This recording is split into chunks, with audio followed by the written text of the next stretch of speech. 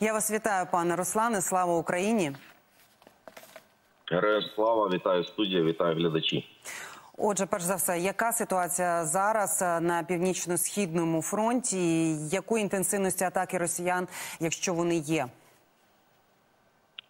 Е, ну, дивіться, зараз саме тут і знаходимося дуже близько до Кремінної.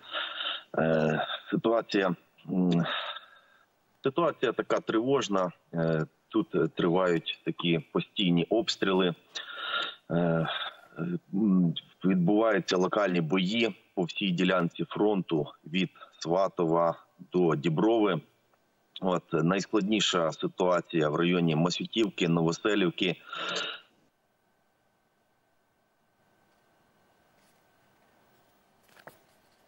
Пан- Е, поки росіяни намагаються витіснити наші війська.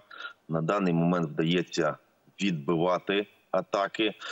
Е, От е, є е, також постійні обстріли РСЗО, артилерія. Орки використовують також новітні технології скидання з дронів гранат, вогів. Якщо порівняти там з Харківщиною, де ми раніше були, то тут е, йде це постійно і вони завдають ураження е, нашим вогневим позиціям. Е, Відбувається також е, спроби виходів ДРГ, оскільки зараз йде і зеленіша, ну зеленка. Відповідно, багато зелені намагаються атакувати малими групами. От їхні атаки е, всі відбуваються значними втратами. От е, в зв'язку з цим вони от спробують скидати на позиції з дронів е, гранати і воги. Е, Загалом Настрій оптимістичний. е, Орки бояться контрнаступу.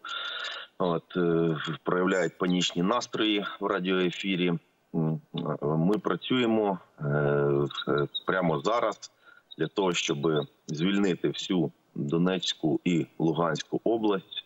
Ну і всю нашу державу, всю Україну, щоб нарешті ця війна закінчилась нашою перемогою. Я бачу, що ви майже не ну не будемо розкривати де саме, але на позиції. І ми дуже вдячні вам за те, що ви тримаєте оборону і нищите ворога.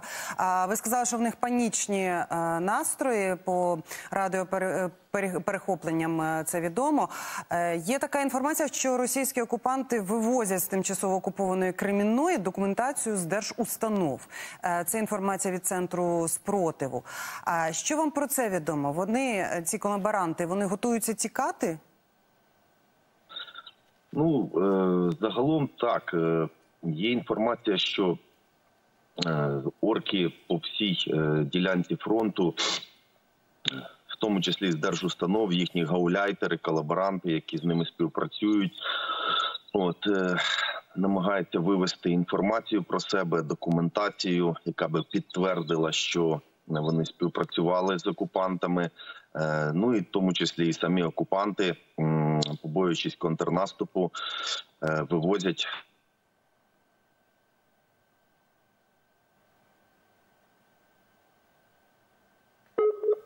Ми розуміємо, пане Руслане. Розумію, де ви перебуваєте, і зв'язок переривається трохи, а ми вас е, зараз не чули. Повторіть, будь ласка. Ну е, факт в тому, що дійсно орки намагаються знищити всю інформацію, документацію, яка підтвердила їхні звірства, злочини, вбивства українців. Але українська армія і українське правосуддя знайде кожного, і українська армія помститься кожному, хто вбивав мирних українців і е, вторгся на нашу землю. І е, ви вже сказали, що зараз, е, як це називають військові зеленка, е, буяє, і тому що це дуже такі лісисті місця, це Креміна, це Луганщина. От ви згадали про ДРГ, що вони намагаються заходити. А розкажіть, будь ласка, яка в них тактика, яка їх ціль? Замінувати територію? Чи вони намагаються прорватися до ваших позицій малими групами? От що вони собою представляють ці ДРГ? Ну, це е, здебільшого добре підготовлені, вишколені і е, екіпіровані дорогим е, екіпіруванням військовослужбовці, які ну е, принципі, їхня більшість вони мають погану екіпіровку і підготовку, але от ті саме, що штурмують, е, це от саме такі підготовлені бійці. Вони е, штурмують малими групами. е, Їхня тактика змінилася. Якщо там, наприклад, порівняти з, з кампанії Київ за три дня, коли вони хотіли, вони йшли великими колонами з технікою. Ця вся техніка спалювалась, знищувалась, тому вони зараз штурмують малими групами. І такі е, е, випадки були в нашому районі оборони і вдень, і навіть вночі е, були випадки, е, що ну до несе небезпеку, тому що вони штурмують з приладами нічного бачення, і вони підготовлені, і вночі важче орієнтуватись, відбувати ці атаки. От і е, вони намагаються виявити вогневі позиції, звідки ведеться вогонь, і нанести туди ураження з АГС, е, там з, е, з інших засобів ураження, з мінометів, з танків при підтримці танків. От під коригування е, завжди це робиться дронів. Зараз не можна зробити лишнього кроку без того, щоб тебе побачив дрон.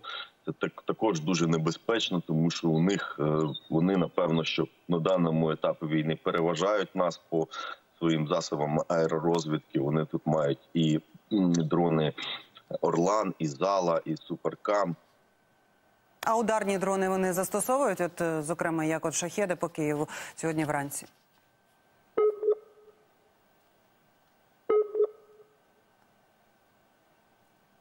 На жаль, Е, я вас чую. так. Да-да-да.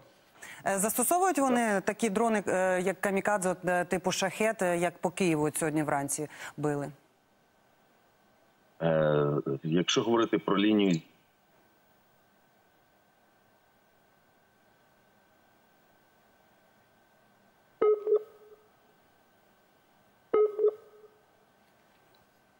Пане, пане Руслане, ну зрозуміло, такі, як, в яких умовах. Якщо ви мене чуєте, я вам дуже вдячна, що Я за вас чую. так, Я вас чую зараз. Зараз чую. Так, а е, якщо говорити лінію зіткнення, то тут більше використовуються дрони ланцет, якими вони намагаються вразити вогневі позиції і е, артилерію е, нашу. Українську, Е, тобто тут більше працюють дрони ланцет, от а шахеди вже більше на далекій відстані, е, які вражають е, ці дрони ще тилові місця і прифронтові місця. Пане Руслане, я вам дуже вдячна за те, що от за таких умов з фронту ви до нас включилися і бережіть себе як наскільки це можливо. І ще раз дякую за те, що бороните ви і ваші побратими. Це був Руслан Дякую Ан... вам, перепрошую за зв'язок. Дякую.